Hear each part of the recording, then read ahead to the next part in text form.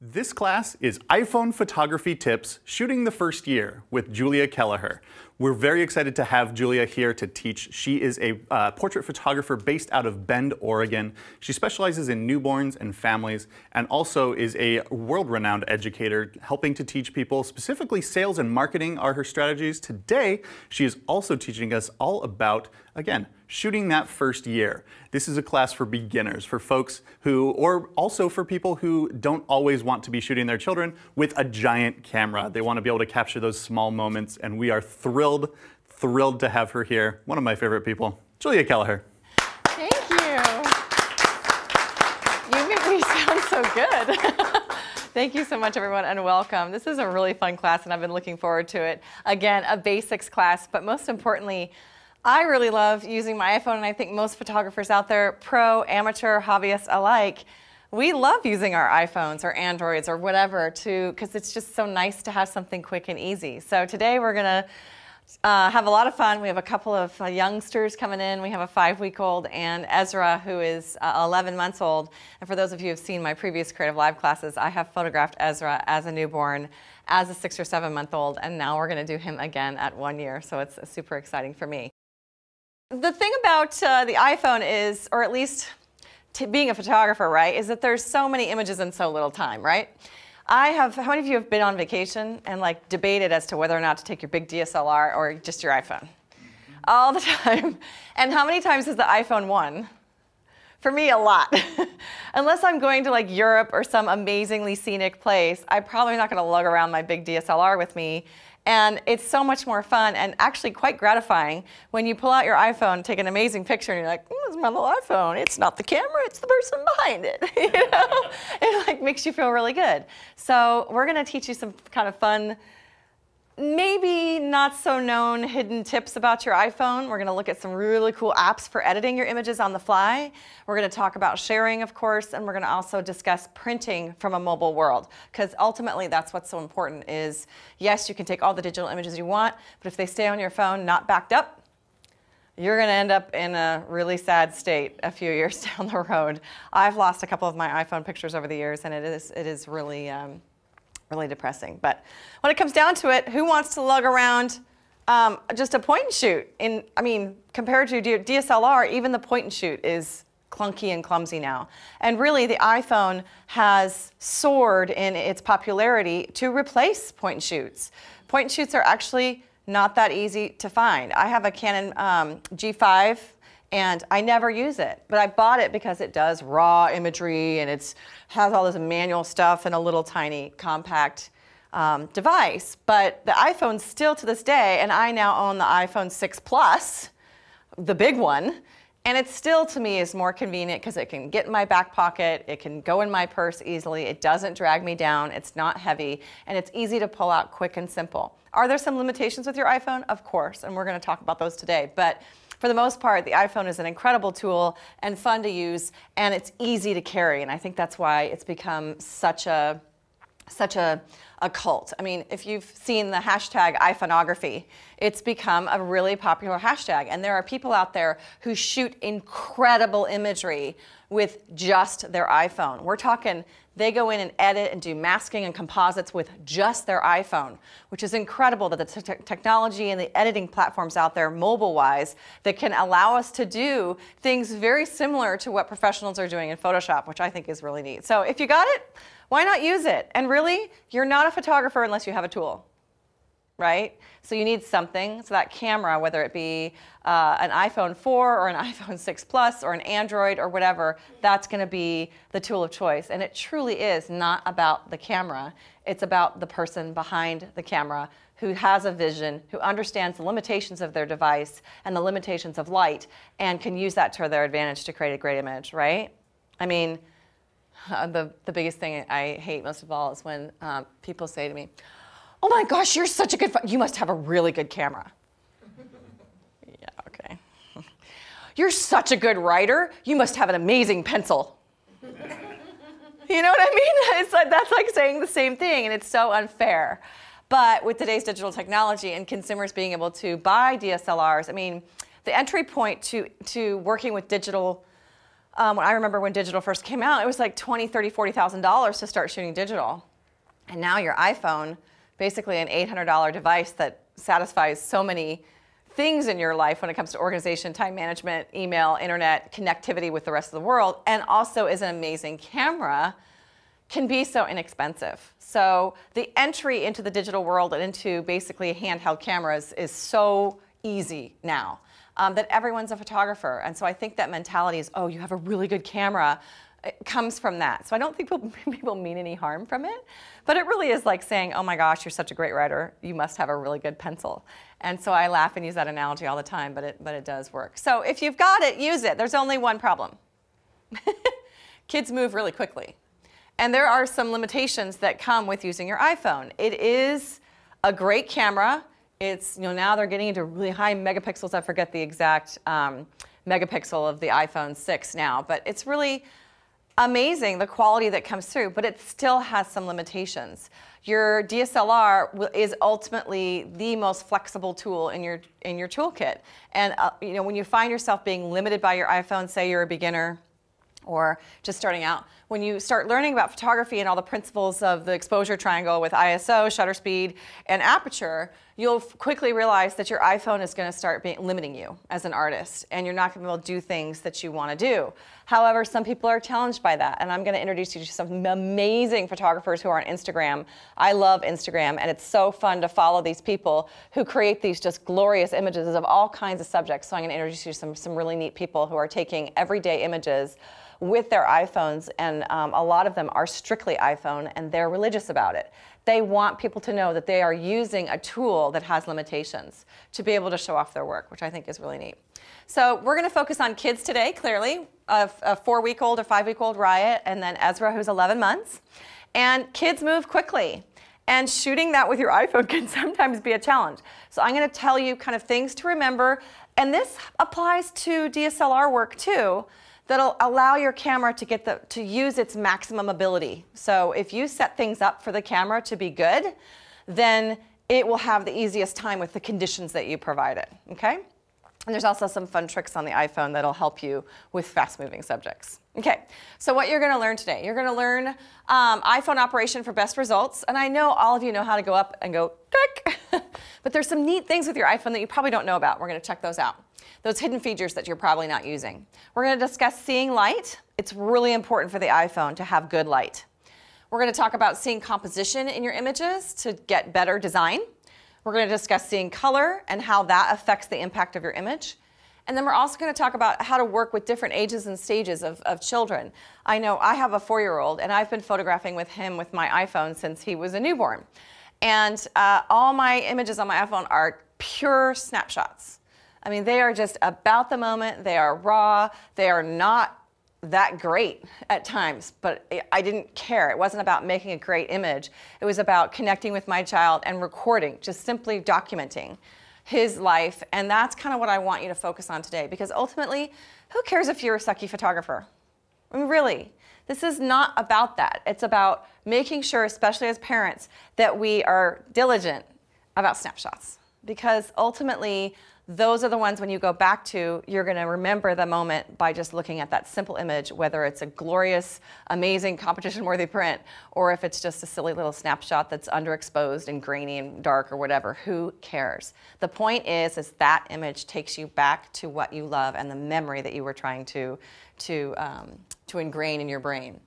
So editing your images with mobile apps. I have a very, very favorite mobile app that I use. As a matter of fact, it is so advanced. You can clone and spot heal. You can curves, histograms. I mean, it is cool. And so for some of you who are beginners, it may be a little bit of an advanced app for you, but I think it's a really good way to grow uh, your photography and your editing skills. And by using it in your phone, it's not quite as intimidating about, as opening something like Photoshop or Lightroom. Okay, so we're gonna have some fun with that. It is a paid app, so I wanna warn you guys about that. It is a paid app. I think it's $3, $4. Um, but really, come on, it's $4 and it's so worth it, especially when you see the features in it and you're serious about doing some fun stuff with your, with your editing. And that's kind of half the fun. Really, it is first about 50% of it is taking the image and then the other half of it is having fun with it in manipulation and really improving upon what the iPhone can do. Then we're going to discuss printing from the mobile world. I have a huge black and white wall in my hallway, and it is all iPhone pictures. Every single one of them. Just chintzy little iPhone pictures in frames or wrapped in canvases, and they are all black and white. And I switch them out every year or so, and my son is just growing up on my wall in black and white snapshots on our, in our hallway. I know as professional photographers, we get really critical, self-critical of our work, and we go, oh, you know, I, it's not good enough to put on the wall. You know, it's not, it's not in my book good. I should have used my DSLR. Oh gosh, stop that right now. My kid does not care what I shot that image with. When he's seven, eight, nine, ten years old, and he sees that I revered him on that black and white wall, that is going to mean more to him than what tool I used. Okay? So switching things to black and white unifies everything. So we're going to discuss presenting those images and putting them on the wall. And sometimes doing everything in black and white is the best way to go about it because it unifies everything. But to get a good black and white, you also need to get good light, okay? And iPhone loves good light, so we'll discuss what makes good light as well. So why do you need it? Better images on the go. I mean, come on, who doesn't want that, right? Snapshots are our most precious memories. They really are. Uh, it's not just about the camera in your hand. And then um, a company that I love, Artifact Uprising, I believe it is, they have a, a slogan that says, out of your device and into your life. And I think that is such a huge, huge, huge problem in today's society. I am guilty of it myself. Those darn pictures just stay on the iPhone forever. I mean, they really do, and it's just so sad. Um, so backing up to the cloud, if you do use Apple iCloud, um, or any online service, or even just a hard drive, getting those things off and at least backed up. And there's so many easy ways to print from your device. You don't have to take them off first, which is part of the pain in the booty about it, is people think they have to take the images off their phone first to print them, which is so not true. You just have to go directly from your device, and there's some wonderful apps and companies who have made that so easy for us nowadays. And with really good quality too. I think there's a difference between, you know, there's some labs out there that just are cheesy one hour phototype labs and they aren't producing with the true professional quality that I look up to. So I'm going to give you, introduce you to some labs who actually are producing quite professional quality imagery. Okay? Yeah. So, Julia, we have Sandra Glover Clark in the chat room who says, I'm an Android user, but we'll try to translate. Okay. Um, so, I just want to make sure that everybody knows that while yes, this is iPhone specific, many of the apps we're using across platform, mm -hmm. uh, and so many of them will be usable on your devices, whatever that device happens to be. Mm -hmm. But a lot of your content is going to be about light. It's going to be te about technique, Definitely. and all of that stuff translates to anyone. Anyone, no and any type of device you have in your hand.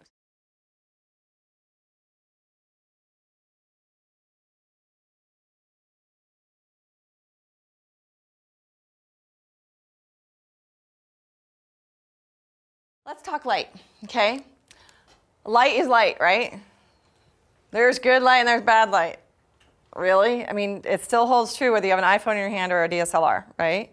So good light, especially for children, means soft, directional light that has quality, okay? Now, when we shoot with DSLRs, we have so much power in our ability to, to crank up that ISO, right? Because nowadays, digital cameras, there's little noise. Well, the iPhone is a little different. I'm sure, have you all shot in the dark with your iPhone? It's like kind of a hot mess. You know, it's just like, and you go, oh, it's a good moment. We'll keep it. you know, it's one of those moments. But with the iPhone, quantity is important, okay? You need a lot of light. The iPhone works really well outside in like cloudy, gray, flat light conditions. It works wonderfully there. Um, I want to kind of, today we're going to be shooting with this big softbox, and obviously we're in a studio, which is totally different than being outside. But this light right here, this Profoto continuous light, which is amazing, is going to simulate a window. And I'm going to try my best as a studio photographer. I'm going to want to move it around because that's my MO. I'm like, I, I want to be able to move it. However, I want to try, I'm going to challenge myself to not move my window because I'm technically going to look at this as if I was inside with my new baby wanting to photograph snapshots and beautiful things. I can't move my window, right? But this acts, for those of you who don't have a studio environment and are shooting in your home, which I which is really what this course is targeted towards, I want you to envision this as a big fat window because that's exactly what it is. And we're going to be working with that big window and mama and babies here in the set and then we also have a crib that we're going to change out to. And I really wanted it to be as lifelike as possible so that you could translate this into your own home, okay? So it, this produces a lot of quality light, but as you can see, if I was shooting this in my home, this is close, but that that provides that soft quality of light. So one of the first things you want to do when you're photographing your family in your home is get them nice and close to a window, okay? Because that's going to produce that quantity and that soft quality of light. So like I said, it matters on your iPhone uh, to have good light. It has limitations. It's not about megapixels. Megapixels have nothing to do with the quality of the image coming off your page. It has to do with the size. Big megapixels means you can print it big. That's really about it. What matters is the quality of the sensor in the lens. That's why DSLRs, you know, you can have a 36 megapixel, but if the sensor stinks, it's, it's not valuable. It's not a good quality image that will come off of it. If you have an 8 megapixel camera with an incredible sensor on it, you're going to get amazing images. And 8 megabytes is a big file. That's a big image. You don't need much more. So I think this whole concept of megapixels, more is better, is a sales consumer marketing thing for cameras to be sold. And so the consumer thinks that megapixels means better. It doesn't necessarily mean better. What you really want is a quality of sensor on your lens. And the iPhone is improving much more over the years, but it still needs a lot of light. It still needs good quality light to really produce um, nice, sharp, and lovely images. Okay, flash. and indoor versus outdoor. And I discussed that a little bit when we talked about this softbox. But natural light outdoors is going to be your best bet with an iPhone. Indoors is fine too. We just want to make sure we're close to a very big light source. The bigger the light source, the better. An open doorway, an open window, your back French doors, a sliding glass door, anything like that is going to be a nice indoor light source. Um, overhead can sometimes be interesting, but you got to be careful because usually it's not big enough. A skylight coming down, it's far away. So the light, light starts to get more focused and more focused as it gets on top of your subject. And on a baby or a child, it tends to be a dramatic look. You could produce some really neat images out of it. I'm not saying don't try it, but just note and feel as you get closer and farther away from a light source how much a difference that makes in the quality of a light on a face. Okay? Flash versus no flash. So many beginning photographers, especially uh, those who are just starting out with their iPhone, they put the flash on auto and let the camera decide when it needs flash. Don't do that. As a matter of fact, my flash on my iPhone is never on. Even in dark conditions in the middle of a nightclub, I will not put the flash on. You know what I'll do? I'll grab my husband's iPhone, put on the flashlight, and put the flashlight over here and take the image over there. totally, because I don't want that light. Why do I do that? I don't want that flash just flat right on someone's face with red eye and all that nasty stuff that goes along with it. It just washes out and flattens the entire image. It, that truly is for snapshots, and you're not going to improve your photography if you use the flash in dark situations. Practice moving that source of light off the camera so when you use your phone, does anybody have their phone on them by chance? Anybody here? Russ has his phone on him. So what I'll do is, like if I'm gonna take a picture of you guys, I'll put my camera here and then I'll have someone, obviously this light wouldn't be strong enough to light all of you, but I would have someone hold this off to the side so we have a nice directional light source and then snap the image. Experiment around with it, you'd be surprised. And it's so fun, like in a restaurant, you take the candle, you know, on the table and like try to, you know, get your little light going on. And it's, it's a lot of fun because you can have multiple light sources or put, you know, one light behind somebody with a hair light, you know, and like the candle in the front us photographers get really creative and kind of kind of obsessed with creating unique light with whatever we have on hand. So yeah. I remember uh, when I was in New York a few years back with the CreativeLive crew, we went out there to do an event and we were all out at the Brooklyn Bridge and it was at night after the thing had wrapped and so there was like three people there and then like four other people with iPhones like lighting it to take one picture. So but it worked out great. It's and amazing. it really is cool. Like you use a lot of those same techniques. It's it's so fun. So I always tell people try to stay away from flash. Flash is like there for the it's there for the hobbyist. It's there for someone who knows nothing about taking pictures. It's there because iPhone needs to be able to help consumers take pictures in dark situations. So the flash is like the, the last result. So stay away from your flash if you can. Your images will become a lot better. Okay, so this is my boy. um, he was, what was he, Belinda? Belinda Start is my studio manager. She started off as my nanny. So she was holding my boy in her arms when he was four or five weeks old. Um, so she has seen him grown up. The image on the left is right by a window on Mother's Day. It says property of mom on his t-shirt. I just, but isn't that funny that I look at that and I immediately know it was Mother's Day right before we went out to brunch and with a red t-shirt on and we put him by the window and granted there's some hot spots there on the bench and stuff this is a snapshot this is not like award-winning work but the light is so much better on his face than in the other image on the right where we threw him down in the garage in a big pot okay because I just thought he'd be cute in a pot, but the light's terrible. And the, his t-shirt says chick magnet, by the way. Um, and the colors are off, and it's just kind of, it's not as high quality of a light source on his face than the one on the left. So I encourage you to really look for it in the eyes. And this is him. Gosh, how I, it's, it's funny because you don't really remember how old they were. I know Belinda's like looking at go, how old was he in that picture? He had to have been like six months old there, maybe seven. No, actually, he'd had the bottom teeth. He had to be 10 months there because he just started getting his bottom teeth. But look for the light in the eyes. You can see, if you look in this slide here, um, the light source, the catch light, is coming from this angle. So it's not, you know, perfect, ideal, professional light, because like if that were the case, you'd want the light coming from the upper angle, you know, and all these technical things that have to do with professional, professional photography. But you can see in the eyes, when the light hits, you'll get the counter catch light in the other eye. And he's got these gorgeous blue eyes, so that counter catch light just fires immediately because of the round sphere of the eye. So when light goes into one side at the right angle, it will come out the other side of the sphere in what's called a counter catch light. And when that happens naturally, it is so incredibly beautiful, and you know you've nailed your light when that happens. So look for that. It's kind of a trick to, to making your images pop, or your children's eyes pop in particular, uh, which is really fun.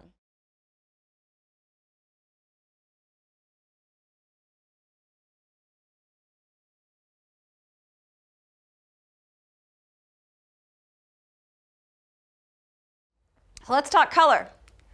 The color wheel. Color theory, I know, is like art stuff, but it's so important. It will really help make your images better. And I'm going to talk about some minor, minor concepts that are, if you think about it when you start shooting with your iPhone, it's going to make a world of difference in your images. I want you to look at the red triangle at the um, black dot inside the triangle for 20 seconds. Just stare at it. Don't stop looking. Keep staring at that red triangle black dot. And when I say so, not yet, when I say so, you're going to move over to the black dot with nothing around it, just in the white space. So keep staring at the red.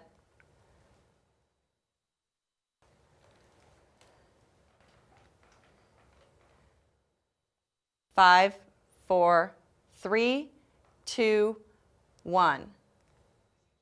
Move over to the other side. What do you see? Isn't that weird? It's such a cool exercise. You see another triangle in its complement color, like a green blue, don't you? Isn't that strange? What is that doing? What does that say about your brain? Your brain looks for harmonious color. And complementary colors are, do have harmony. They are contrasting and they bounce off each other. But your brain, synapses firing, looks for that color. It's the most incredible thing. So if you produce images that work with the color harmonies, that image is going to be more appealing overall. Now, whoever is looking at the image won't know why, why they like it. But with good color harmony, it, it's going to be a powerful impact on the image. Does that make sense? And when I tell you some accounts to look at on Instagram for inspiration and stuff like that, you're going to see how they use color. It's absolutely incredible. And some people, color is really intuitive. Like they don't even know the color wheel, but yet, but that's because our brains naturally and psychologically want that color. So keep that in mind. It's a very interesting concept. So let's look at a few color harmonies, okay? There's complementary, analogous, triadic, monochromatic types of color schemes, and there's warm colors, cool colors, and neutral tones, right? So each color theory or color combination, I should say, has a different feeling. So a complementary color means colors that are opposite each other on the color wheel. They vibrate against each other. They're a lot of energy. They're very happy. You know, Christmas is red and green. They're opposite each other on the color wheel. That's why Christmas is so vibrant and colorful, okay, and has a feel-good component with it. Doing images of children in complementary colors is a lot of fun because it means it, it connotates this happiness, okay? Spunky. Split complementary is when you take one color, go across to its complement, and then split on either side to the secondary tone, or triadic tone, I should say. And that really creates a neat color scheme as well. It's a little more calming, but it's still energizing. Then we have analogous, colors that are on either side of a primary of a main color on the color wheel. Okay? So I, it's a very monochromatic look sometimes. When I say monochromatic, I don't mean all black and white. I mean all within the same color family, okay? And that's very calming, very soothing. I do that a lot with my work because I want the face, the portrait of the face to stand out. And if I use a very analogous color scheme, it tends to make that face be the center focus of the image. Especially because faces are a color, right? They're in the orange family, orange, yellow, red family. So if I use an analogous color scheme in the blues and grays, that face is going to go bam, it's going to pop out because it's opposite on the wheel. So if the faces have, are in this color tone and I'm using blues over here, that face is the first thing you're going to see, right? And that's what I want in my portraits. So when I'm shooting children, I will often use that kind of neutral, calming, blue, cool, gray, or warm brown type tone, okay? Then there's triadic. Those are the three across the wheel. That's a kind of a fun scheme to do. The primary colors, red, yellow, and blue are like that. And then also kind of the greens, the oranges, and the purples, which I actually prefer that triadic scheme more so than the traditional, you know, red, blue, and uh, yellow scheme because it's so fun. It's just kind of a different spin on the triadic scheme.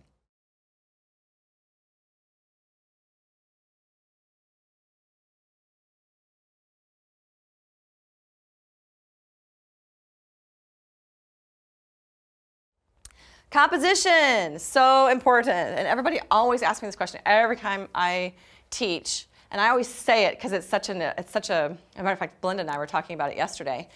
Composition is powerful, powerful stuff. And there is a rule called the rule of thirds that it consists of what's called the power points. So basically you make a tic-tac-toe box on your image and where the points meet are called the power points. And if you put your subject on those power points, it's going to create much better composition in your image. It's going to tell a story. Each of those power points can have meaning. This is where everybody wants to know, because I say this all the time, but I haven't really written it down anymore, because it is something that's made to be broken. It's not a hard, fast rule. It's kind of an interpretation. The power points we read in the Western world from left to right, correct?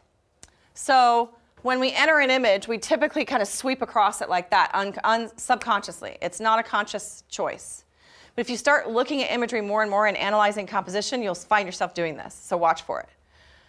Down here, sorry, go ahead. Are you saying then that in, in the East, then it's the opposite? Exactly. Exactly. So it, depending on where people are watching around the world, flip I, it as necessary. I totally. I should have noted that earlier because yeah. we were talking about that last night. In Asian countries where they read from bottom to top and right to left, it is the exact opposite. Okay? So over here in the lower right is kind of the place of rest. It's the place of finish. It's the place of peace and calming. You'll see me in my work. I put a lot of babies down in that lower right corner because I'm just ah, so happy and content the upper right power point is still that finished moment, but it's exalted. It's up in the air. If you look at some of the great artworks in the world, Jesus will be up in that upper right-hand power point because it's kind of an angelic, very ethereal, very heavenly-like position. What, like the shot with the newborn baby where dad's hands are like this and you don't see dad, I'll put the baby in the upper right power point because it looks glorified, it looks heavenly, it looks very angelic. The lower left power point is a little kind of uncertain when you put a subject over here and have nothing over here, it kind of feels like stunted. Like, what's next? Like, unfinished. What's the future? You ask, you ask questions. It feels a little awkward. When I did a, um, an image of an orphan, I put the orphan over here in the lower left. Uncertain future, telling a story. And does, do people consciously know this? Of course not. It's a subliminal thing, but it impacts the image and how you create it. The upper left is actually quite precipitous. It's like hanging in the balance, like, oh my gosh, not only are we on the left side with an unfinished future, but we're hanging up there like dangling. Okay? So, like, people laugh when I say this, but a bride on a cliff about to commit suicide, that's where you'd put her. Do you know what I mean? which, which sounds like really morbid and deathly, but no, I'm, I, and I don't take, obviously I don't take suicide lightly, but you, you want to put that kind of strong story up there. Or like, oftentimes there's some amazing artists who will put, um, there's this one guy who does these composites of um, high scenes, like he'll be on top of a building and he'll shoot down, and somehow he manages to get himself like as if he's hanging off. I mean, you know it's not real. And he's hanging off, and he'll put himself over there to like create that tension, and you're like, whoa, that guy's gonna fall any minute. You know that that kind of feeling works really well in the upper left power point. So use the power points consciously to give depth and meaning to your images. Now that you kind of know how you can influence that, you're going to be looking at those power points a lot differently. Going be going, hmm, where should I put somebody? And how can I tell more of a story in doing so?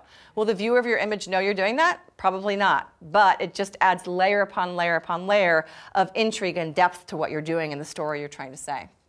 The golden mean is another one. It kind of is Mother Nature's magic composition, a spiral. Oftentimes you'll see images of staircases, like with a subject at the bottom kind of thing. That's a really neat uh, golden mean type image.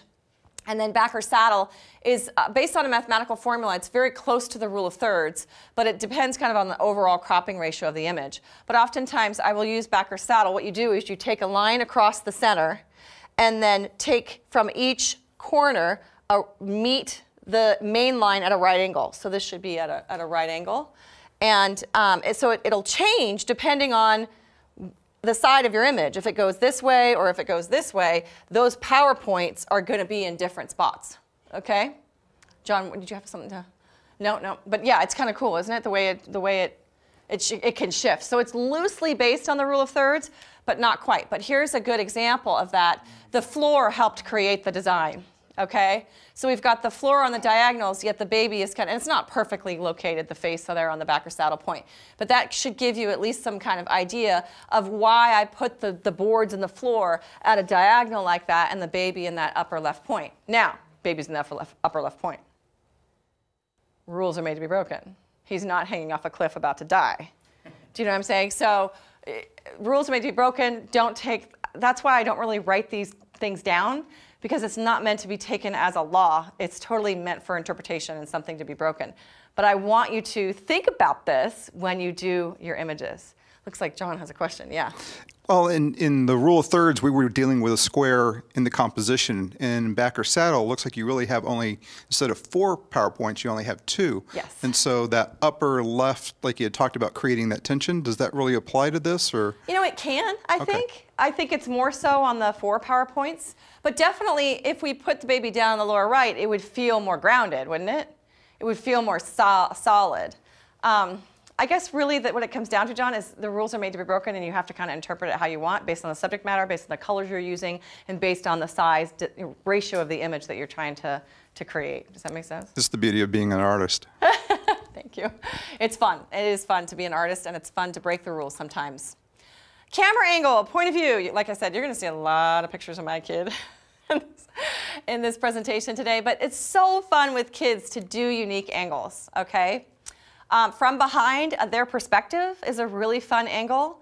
Down low with them, you know, like down at their level is, is a classic way to go about photographing children. Um, and then from above, because from above, he's sitting on a scale there in my bathroom. Um, he's just so cute. Oh my God, I'm so emotionally attached to my kid. Um, it, I know, and everyone else looks at these images like, yeah, whatever, just an iPhone picture. But to me, it's like, oh, he's just so cute. I can't believe that time is gone. Um, but you look, you know, looking down at them like that makes them seem so small and creates a whole nother story to it. So look at your camera angles. For those of you who are beginners, I would just focus on these three right now. Focus on what they see from their perspective. It's okay to shoot the back of your kid's head. It really is. And it tells a story. Um, it's okay to shoot them down low at their angle and not show every part of their face. And it's okay to shoot them from above. I try not to shoot from above unless I'm really, really trying to say something about how small he is, because I think too many images from above over time, if that's all that's in your portfolio, it tends to be, I don't know, it kind of says a message of domineer, like he's always, he's, it doesn't give that variety. Yeah, it's like looking down on a child. Um, one of my mentors uh, a long time ago, Cheryl Jacobs, who is an amazing black and white film photographer, she used to say how much she hated that her parents took images of from from over the top of her, because it sent such a I'm not a valuable enough human being message.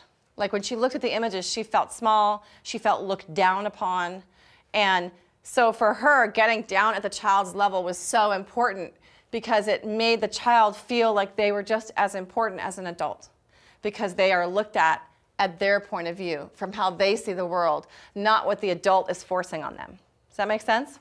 So just a little a little tidbit. Um, obviously, I shoot my kid above, you know, all the time because it's really cute. But I think just keep the variety, and and you want the message to your son, the message you send to your children ultimately to be one of I wanted you from every way of life and every way that you were. Okay, some quick tips on your iPhone. To open the camera, this is really cool, and I'll show you this as we get into working with the camera.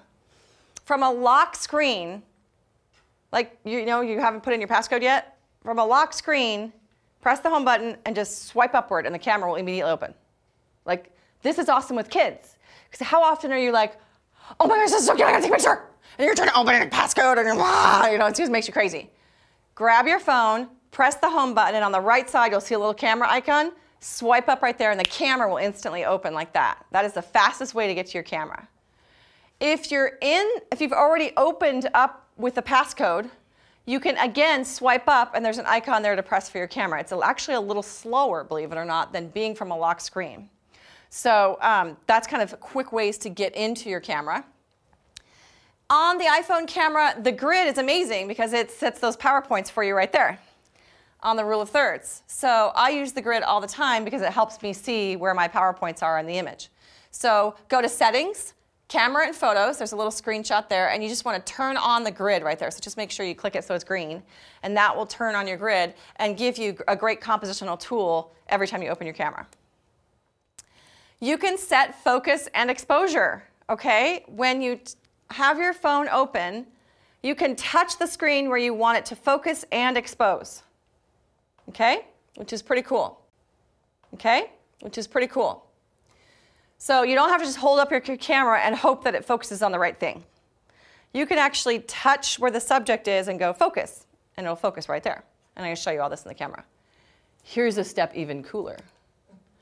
If you touch and hold, it will lock focus and exposure right there. And you can recompose your image however you want. Snap the picture and bam, you're done. Here's even cooler. Touch and lock the focus and exposure. And you'll see the little sun icon come up right there. You can swipe up or down on your camera and it will adjust exposure. It'll darken or lighten the image, which is pretty cool because you can touch exposure, like you can touch a face. Say you have a really dark back or a really bright background and a dark subject. You want to focus and get the exposure on the person, right? Because you want that to be what's what's good. Well, sometimes the phones it'll act funny or it won't expose it right, but it'll focus nice. Lock that focus, and then you can swipe up and down, and you can adjust your exposure, making it darker or lighter based on how you like the look of the image. Okay, so that we'll, we'll do that in the phone as well. Okay. Uh, yeah, and I think I just, uh, yeah. So anyway, burst mode, great for kids. Oh my gosh, how many of you know this? If you just keep holding the shutter button, it'll burst. Take like, I think you can go up to like 100 pictures. Granted, that's a lot of gigs you're putting on your phone. You got to erase them all, so keep that in mind. But with a child, it's wonderful because you can just go, you can lock your focus and exposure, go and then it'll just cap capture them in motion, okay? Keep in mind when they're moving, now granted the iPhone runs at a very open, uh, very closed down aperture, so a lot, it doesn't have a big depth of field. And especially if your subject is far away from you, everything's pretty much gonna be in focus. But if you're, you know, shooting your kid like right here and um, you lock focus and exposure and you start bursting and they move back and forth on the front of this thing, some of the images are going to be out of focus. So just keep that in mind that um, it, it's not a tracking focus. It won't track your kid as, as, it, as it moves, but it will burst, okay? Okay, uh, but this is amazing for kids, and oftentimes, I mean, it's, it's spray and pray, right? So we call it spray and pray. I got one. Did I get one? No, I hope I got one look through your images and chances are you'll have one or two. And sometimes that's what it comes down to with a one-year-old moving around. We've got Ezra who's 11 months. I may be using burst a couple times to like get what I need. So keep it's it's okay to do that. There's no problem. Just make sure you go through and delete the ones you don't want because trust me, trying to clean out an iPhone is a little bit of a pain in the booty. Four weeks old. This is my son when he was four weeks old. So cute. Belinda's like, oh, he's so cute. Um, Things to remember about this age. First of all, they don't do much. They sleep. But that's the beautiful part about it because they're easy to capture because they're not moving. okay? I love to get the abstract shots, the little cloth diaper with his legs, you know, little close-ups of the face, his feet rather than his face, that kind of thing. Um, the first smile, and of course he's right, he's in my arms right there next to a window. Um, and that was literally when we came home from the hospital, and he gave that little sleepy smile that I love so much. But keeping it natural is sometimes best, and it's about the image design. If, you, if they are moving around a lot and kind of awkward looking, um, or moving their legs so much that you can't get a good shot with the iPhone, swaddle them up, tight, bundle them up. That's, that helps a lot. Um, look for the details in the abstract. Uh, don't always get the face. Get the little details that you want to remember. His little hand on a, on a surface or something like that can, be, can create a lovely designed image. And always go for those unique angles as well. So this is Dean when he was four weeks old as well. This image, he was moving his arms and yawning. It's totally soft. It's barely even in focus, okay? But sometimes that doesn't matter when you're shooting with your iPhone. But the color harmony and everything makes it so that he pops out. And this is one of my favorite images, even though it's not that technically great. Um, and I think that's what's important to keep in mind. Four months old, of course, that smile is, is, beginning to develop and using negative space and other objects in the frame to tell a story. Here, you know, I just, he's on a rug. I mean, he's on a rug in my living room and I literally just stood over him and went like this and put his little favorite chew toy of the moment right next to him and that's the image. I mean, that's really it. Simple, clean. I didn't even worry about color here. I just worried about composition and design and putting the memory in there that he loved, that little butterfly. And that little butterfly or bee or whatever it is was given to him by his Aunt Jenny. And so those sentimental things add, added to an image can also create for a great moment and a great snapshot. By the time they start getting a little older, you can start telling a story, okay? That's Winston's toy. And Dean wants it, my son Dean. And Winston's watching him like, how fast are we each gonna get there? You know, and that's my, uh, that's my backyard. And I saw them doing this and I was like, oh my gosh, pull out the camera, who cares? But do you see the triadic composition? How I use the, the three triangles to kind of create the storyline? And you can't see my kid's face. This image is about whether or not Winston or, or Dean is gonna get there first, okay? Unfortunately, Dean passed away, uh, Dean passed away, Winston passed away uh, probably six months after that photo was, was taken, which so it's very special to me. Winston is my fur baby. He's the dog I got before I got married. He's the one who put me through all the breakups.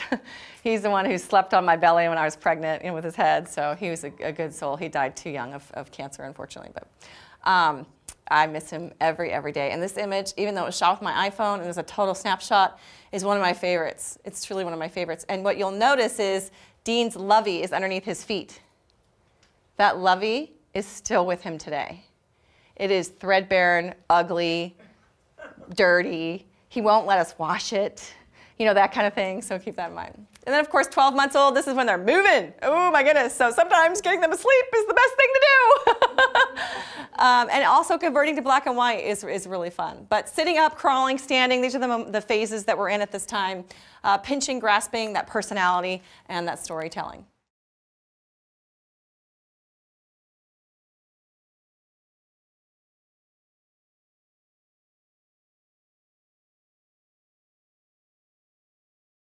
Okay, quickly, before we start shooting, enhancing your images on your iPhone. I use the app Photogenie. It is fairly advanced. okay? But we're gonna work in it a little bit today for editing your images, and it's really, really, really cool. And honestly, I don't know people, uh, many people who use it. There are lots of free apps there out there, and I'm gonna give you some to check out.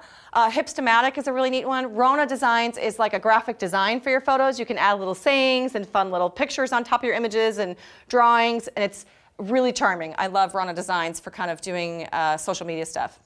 Snapseed is a free one which is a great editing app. PicTapGo is great. They're made by uh, Totally Rad Actions. Wood Camera is a neat kind of vintage camera app. Uh, Camera Plus is a nice one. There's a free version of Camera Plus. And Mextures is applying textures on top of your iPhone images. You can do all kinds of neat textures. There's blending modes like Photoshop, masking options. It's really neat. Um, AfterFocus is a camera app that allows you to add bokeh to your images. So you can make your background go out of focus, which is really neat. Tilt shift generator is similar. It's tilt shift focus. So you can do really neat focusing techniques to create that blurred background look, which I think is so cool. And then of course, Pro Camera. Pro Camera I have just discovered, and it is awesome. Pro Camera actually takes over the functions of your camera in, in um, your phone. But it has such advanced, it locks focus and will track your subject. And it will track exposure and you can turn it into manual mode and adjust your ISO, adjust your shutter speed. You can really play, I mean, it's, it's if you want to take shooting with the iPhone to the next level, Pro Camera is like the DSLR for your iPhone. It's, it's, I mean, that's obviously an extreme. But the iPhone camera has some limitations. When those limitations are starting to bog you down, you want to go to Pro Camera because that's where you can really start playing with stuff. And I haven't used it enough to be fast with it. so I probably won't be using it today, but I've been looking through it and it's really, really neat. You can even manually focus with it. So that's kind of neat. Okay, and then um, keep it all on the phone, but back it up to the cloud, and gosh, all I can say is print. Here's what you don't know. This is what I tell my clients. Digital files are not archival. They are actually doing major research studies at universities because every single document in the world right now is created electronically. And there is no way to archive it.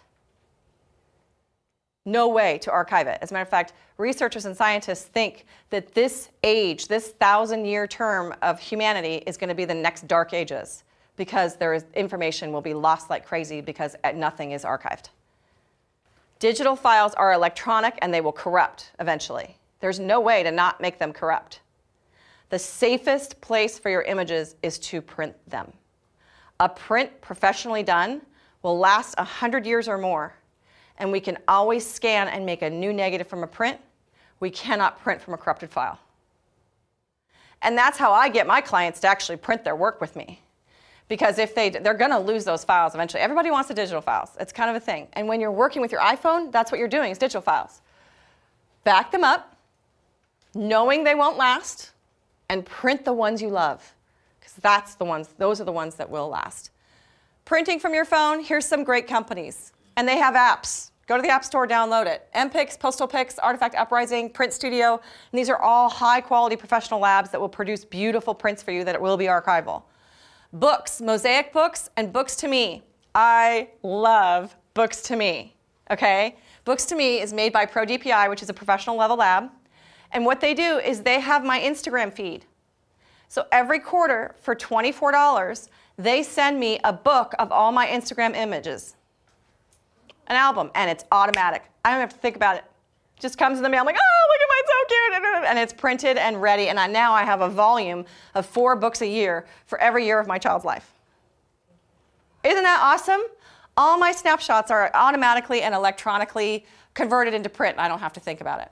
Here's some fun accounts to follow. I'm going to uh, leave this up for a few minutes so people can kind of screenshot this or write it down. So many of these people use iPhone only, and they take amazing pictures, whether it be just landscape. Most of them are people. Benjamin Hole is a farmer in Ireland, and he takes pictures of farm life using his iPhone. Incredible work. Amber Fillerup is based, she's a travel, uh, travel blogger, and she is pregnant right now and has her other little son, and she just travels the world and takes beautiful pictures of her son and herself in different locations. Um, Mama's Gone City, I don't know if you guys know Mama's Gone City. She has a dog, um, Theo and Beau. She has a book called Theo and Beau. And um, her rise to fame was because she took beautiful pictures of their adopted puppy, Theo sleeping with her son Beau, nap time. So nap time with Theo and Beau. It's just incredible. Like it's talk about tug at the heartstrings. Kuperberg, Anna Kuperberg, she takes amazing pictures of dogs with her phone. Noah Seven, this is the guy who's like hanging off the cliff, does all the composite work. He's really neat. Uh, this Wild Idea, Take a Picture Lady, Dolly and Fife, and Jerms Lees. These are all neat accounts to follow for some inspiration. Okay? And then, um, so go ahead and screenshot that if you guys want to save it. And then if you want to find me, this is where to find me. So we are going to start doing some shooting because we don't have much time left. We're, we're running out of time here. But we're going to start shooting with Ezra and um, Ryatt really quickly. And then I do want to take some of those images into Photogenie. So we're going to rock and roll here pretty quickly. Um, and Belinda is going to be here for safety. She's my studio manager and assistant. Um, I'm always very conscientious of being safe with babies. Um, so, and because we have this settee, especially with Ezra, he can sit on it. It's kind of got a round surface on it. I want to make sure that he's safe at all times. So she'll be standing by when I shoot, just to make sure, because I'm kind of paranoid that way. Okay. So if we can get this light fired on, and we're going to bring. Can I take some questions while we're kind of getting set up for that? Well. First of all, we have a question from Joan who wants to know whether you got a release from Dean because he is going to be famous, obviously. no, I did not, but he's my kid. Love no, it. too cute. That's funny. Um, Carolyn M is wondering whether you can shoot in RAW on the phone or with the normal setting. How do you set up the, the kind of image quality on the phone? Well, um, image quality, it's kind of what it is what it is, and it's always going to give you nice big files, but they are JPEGs. Uh, you know, the iPhone does not have the ability to, to shoot in RAW. Um, but because the files are so big, there's a lot of pixel data on them, which nowadays does make it nice, and that is the advantage of having high megapixels, mm-hmm. is that you're going to have more pixels to work with when you go into edit, which does, I guess, improve quality, and I should have said that before, so great question.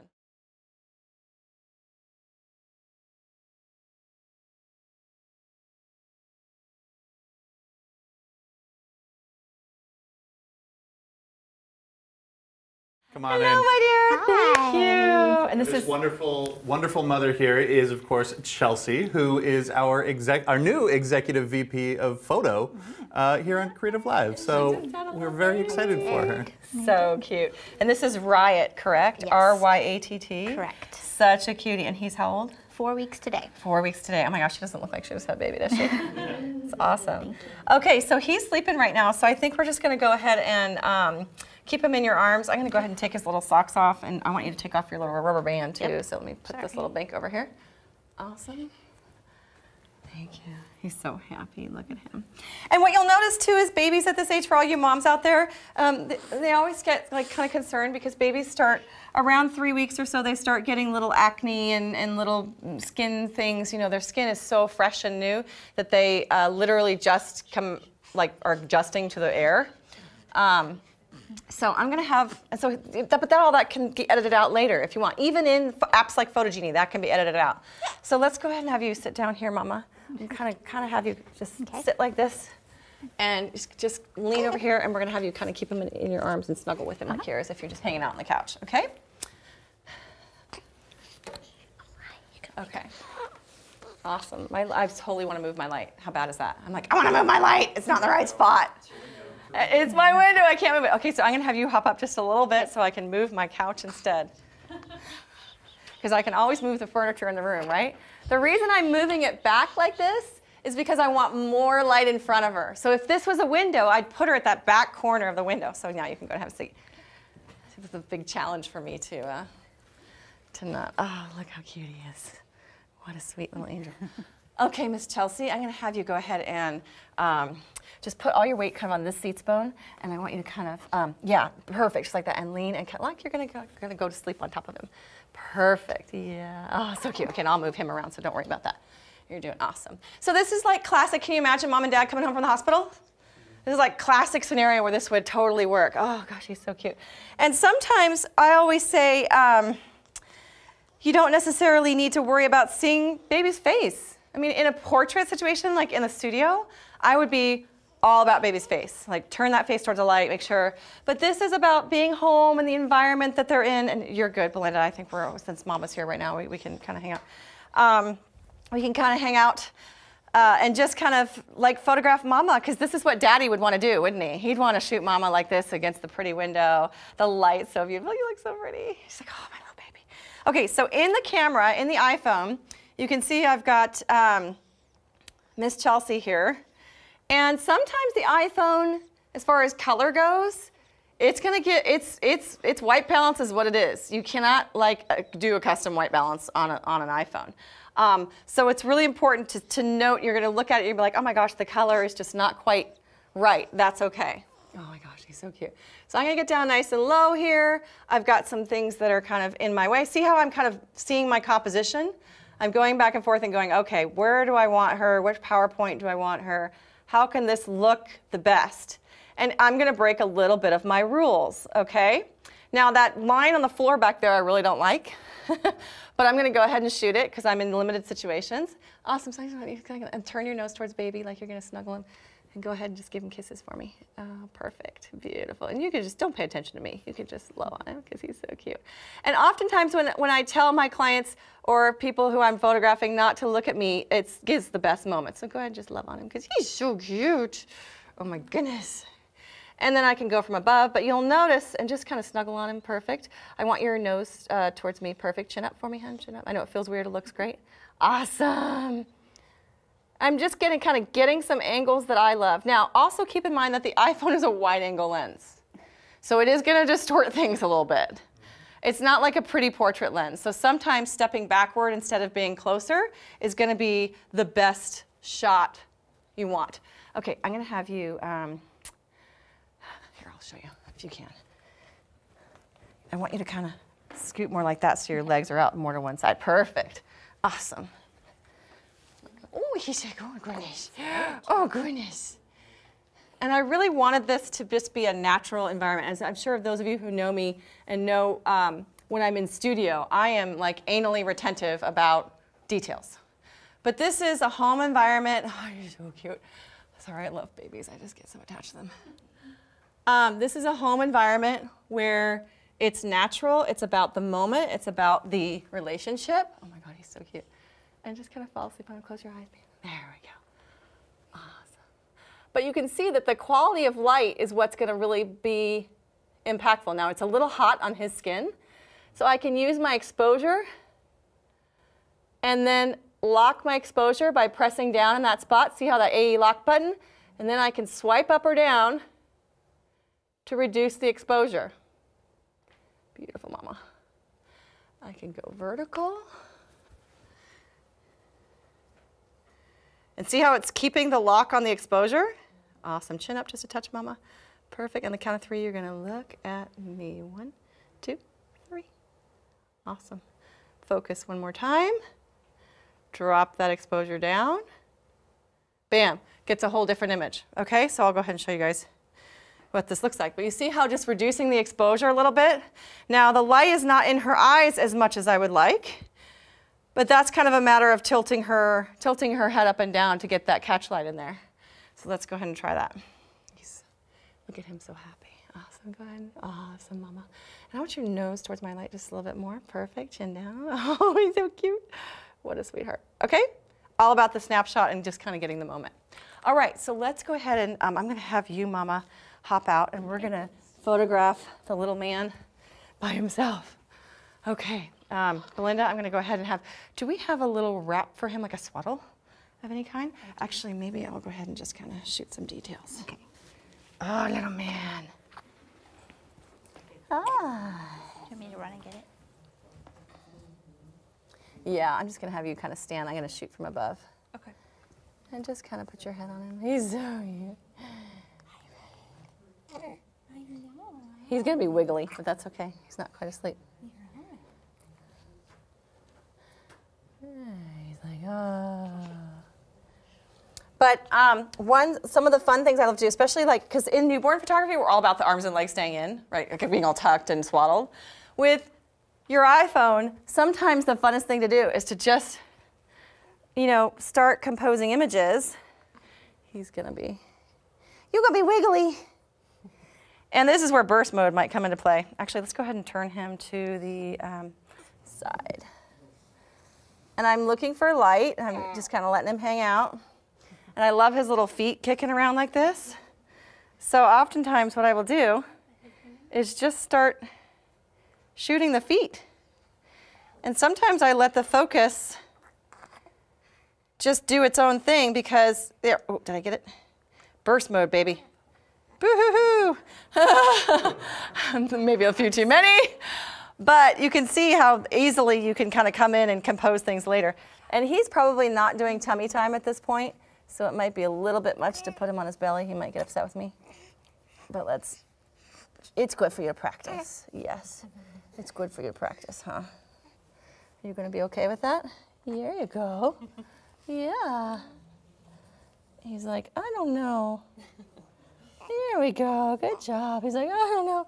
He's so, but this little froggy leg thing, and granted, my light is kind of in a direction I don't really want it, but creating that little froggy thing with the lines on the couch can be really cute too. I mean, how, what a cute little memory is that for mama? And it's totally flat light because it's coming from that direction, but who cares, okay? But the color harmony and stuff is what makes it cute. Now, um, the iPhone app is not, he's like, what are you doing to me, lady? I don't want to block my light, so I'm going to kind of shoot upside down. Um, sometimes I just get really kind of creative, and sometimes they're not very good. And then other times it works. He's such a good boy. Okay, um, so yeah, let's go ahead and grab him off of there. And you're such a good boy.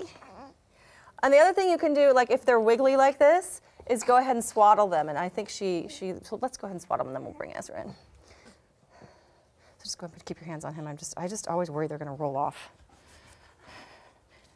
Okay, so to swaddle, like just a classic swaddle, make a square like that. Okay, let's go ahead and lift him up. Yeah, I know. Perfect. They're little squeaks. I know they are squeaks. Okay, so then I take this edge first and wrap it over. I think I'm doing this right. I forget the basic swaddle. Okay, and then the bottom edge goes up over the shoulder. Hi. Oh yeah, you're gonna be so happy in like 30 seconds. And then this goes over to the side like that. And with snapshots like this, I don't worry about it looking that pretty. It's about making a, a memory. Hi, Peanut. Yeah. Look at those eyes. But if you notice, I put him, he's wiggly. You're strong. Um, if you notice, I put him with his head towards the light. Why did I do that? He's looking at me, what a sweetheart. Because I want that kind of butterfly pattern on his face, okay? Sweet boy, you got a little. Julie's coming down. Okay, I just want you to go ahead and keep your hand on him and um, move over here so I can take the shot, but um, keep your hand up until I'm ready. Because he's just awake and wiggly and rolly, and if he rolls too much, that would be bad. Hi. Yeah.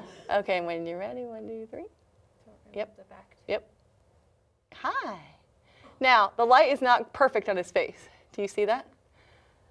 Hi, Peanut. So if I was being anal about stuff, go ahead and keep your hand on him. I would do this with the sofa to angle the light so that's in his face. I'm not going to have this TV in my background, but that's okay.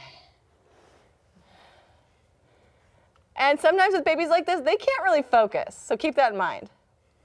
So instead, I'm going to kind of wait for him to look this direction. Oh, that was a good face. Yes. So was that. Oh, you're cute. Yeah. And these faces are what's so beautiful at this age. So really capture those expressions and faces. And I mean, yeah, you can get some cute stuff. Oh, such a cutie. I love that one. Oh, that's the fun part. And as a mom, I mean, oh my gosh, that's what you love the most.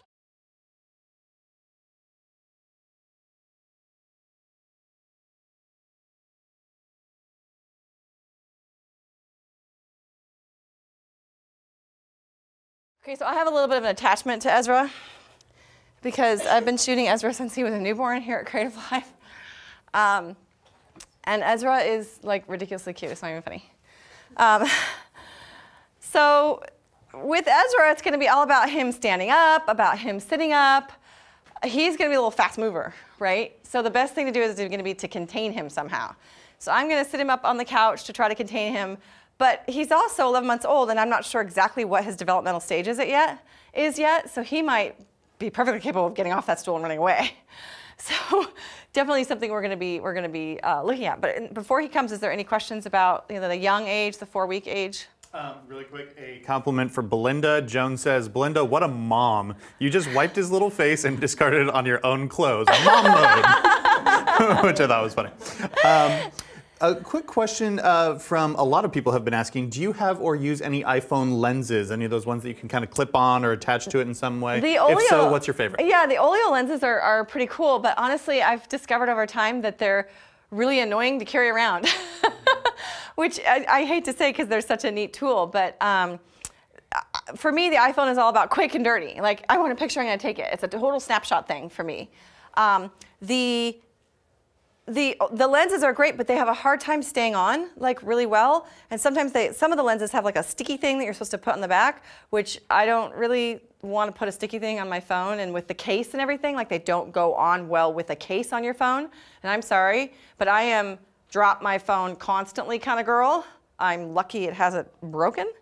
Um, and so to me, I want a case on my phone at all times. And so having a lens clipped onto it with the case is challenging. So there's pros and cons. The lenses are fun and great. And yeah, they definitely help in the situation when you, like when I mentioned earlier, that wide angle lens thing.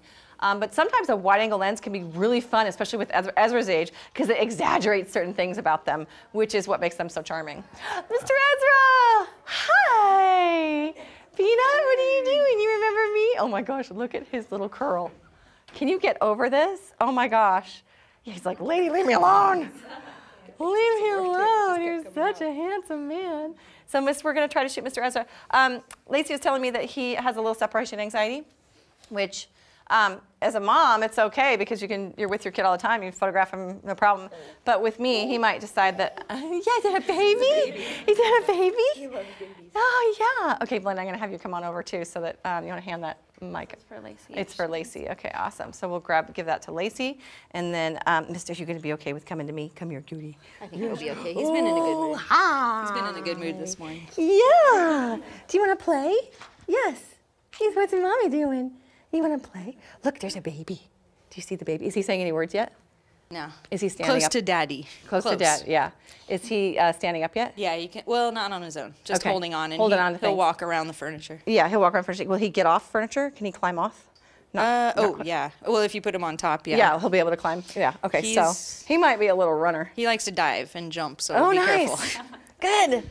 You're a total little boy, huh? Let's try getting you, sitting you down nice and close and see what happens. Hi, Peanut. What are you doing? What are you doing, huh? What are you doing? You just got that smile. I just love what's Miss Julia gonna do. Is she gonna take a picture?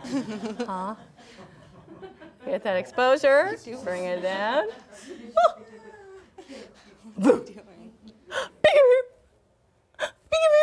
Oh my goodness, you're just a ham. I love it. Hi. You just want me to move I, just want you to watch him for the or most part. lay down or something. I just took a picture with my volume button. It does work that way. Oh, you're a good boy. Peanut. And sometimes the trouble with the iPhone is that like it takes so long to compose a shot. What are you doing? Hey, Bubba. Ezra. What's that?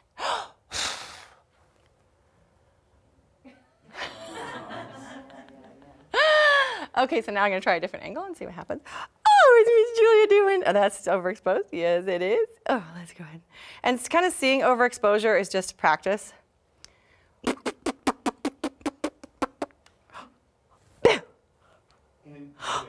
Changing the exposure. What I'm Um, doing is I'm holding down AE lock, so I'm just pressing my finger down on the screen. You see the AE lock button come up. Come on. Time lapse. I don't want time lapse. No thanks. Photo, please. You'll notice the photo lens is a lot wider. So I'm holding down AE lock and then dragging my finger up and down to reduce the exposure. You can see that sunshine slider there. I'm just dragging it down to reduce exposure. Ezra, where's the baby?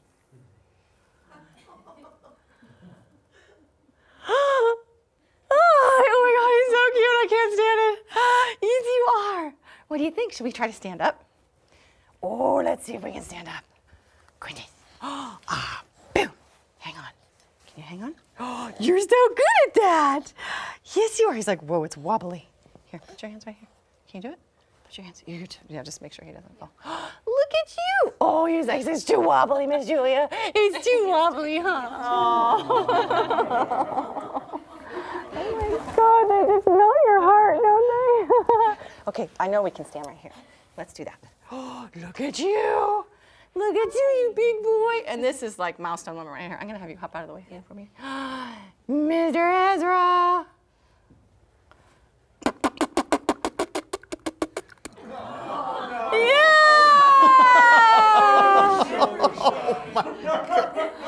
We paid him to do that. we paid him to do that. Oh my gosh, you're just a ham. Yes, you are. You're just a ham.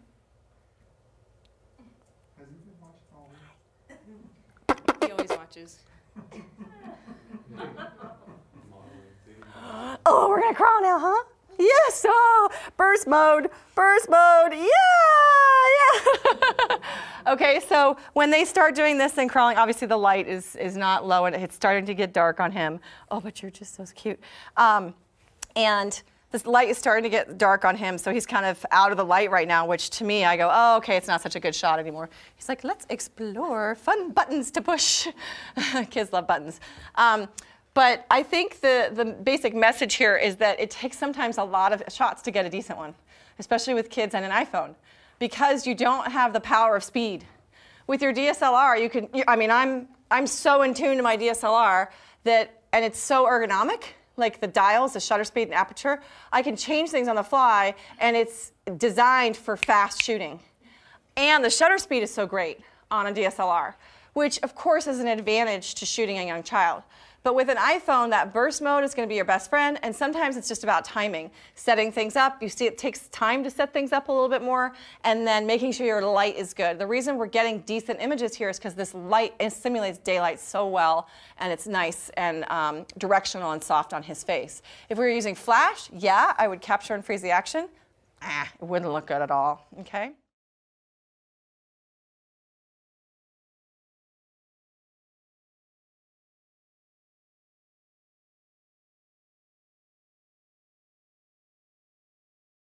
Let's get into uh, Mr. Ezra. You can see I'm going to have, I have a lot of pictures on here.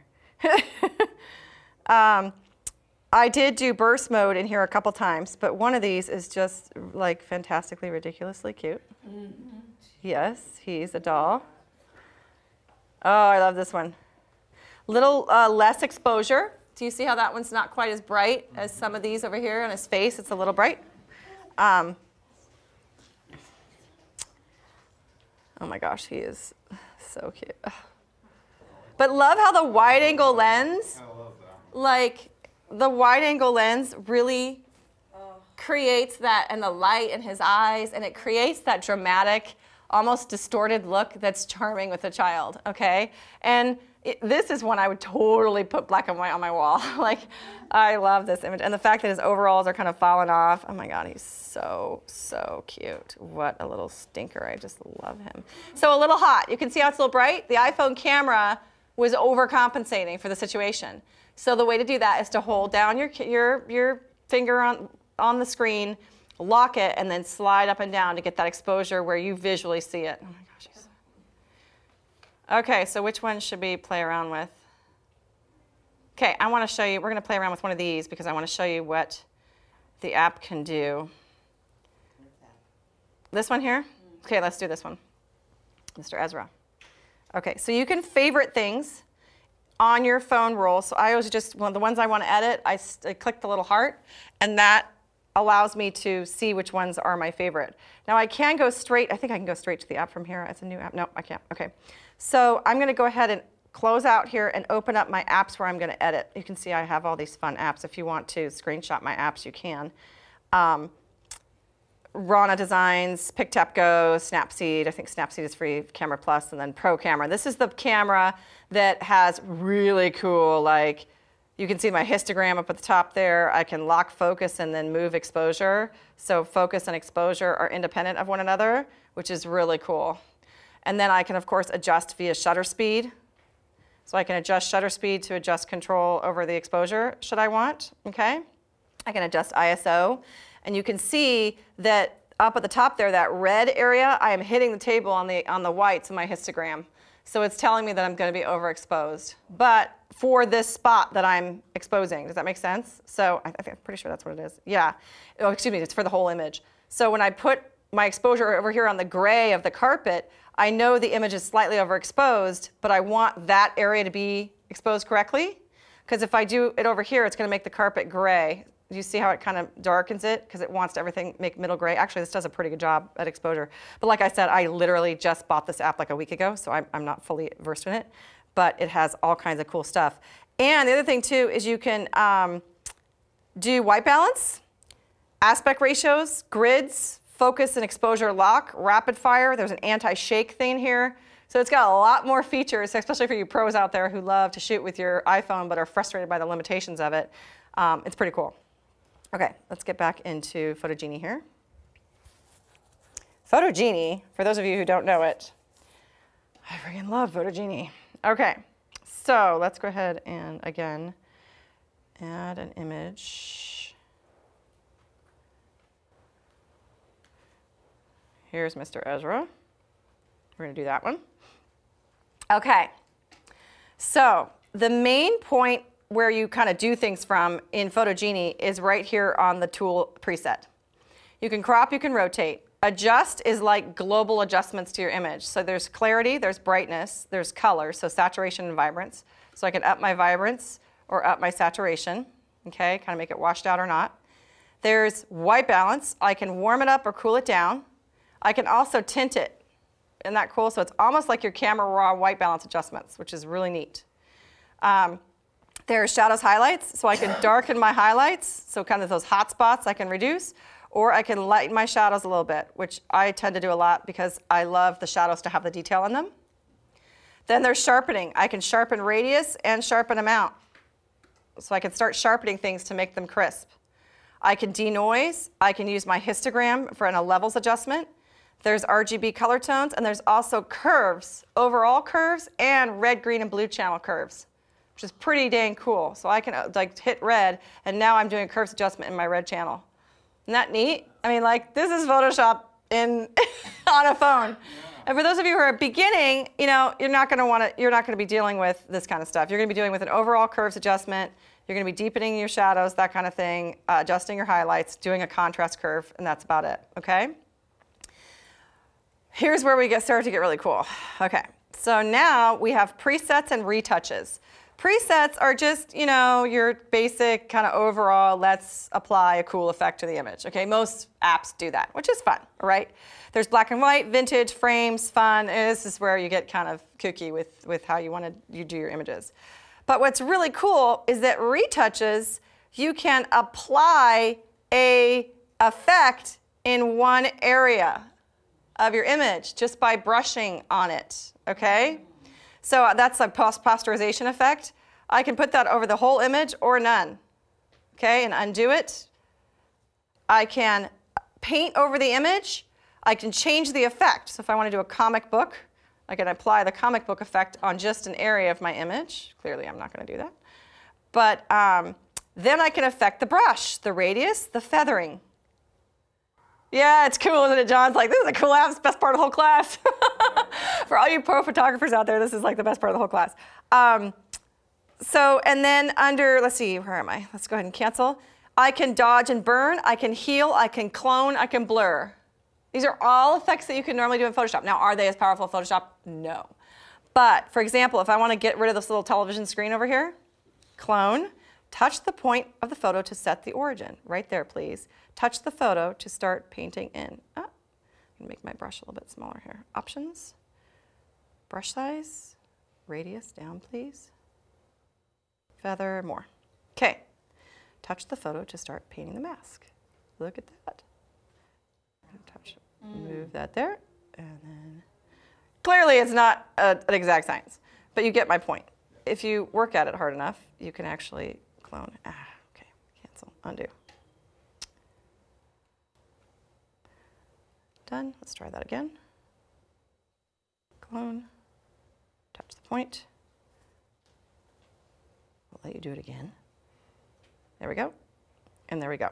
Okay, you can see it's not perfect. But, and I'm not, I haven't done it in a long time, so I'm feeling a little unconfident at the moment. But you can do these kinds of things. What might have been better is for me to use the, um, the healing tool. Double tap the photo to add a new retouch area. Okay, so there, I just you can expand, extend the area if you want. Oh, come on, delete retouch. There we go. There we go. Heal again.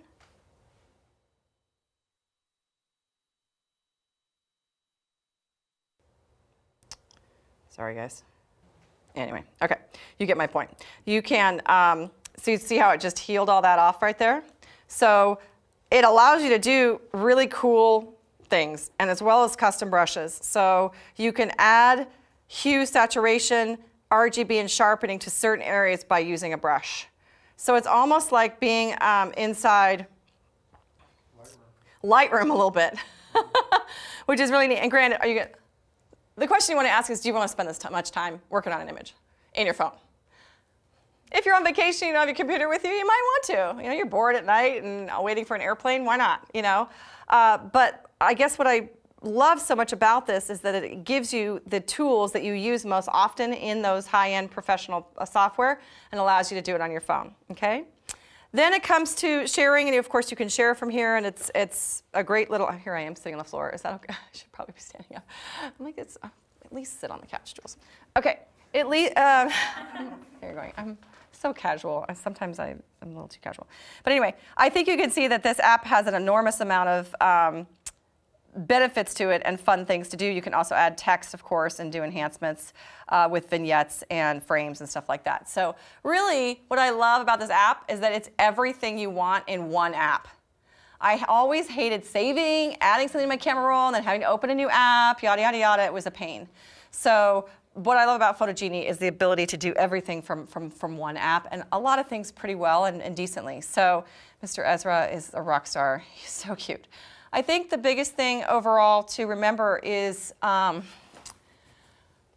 honestly, as, as much as this, this class is about iPhoneography tips and using your iPhone well, here's the one thing I really want you to take home from this class.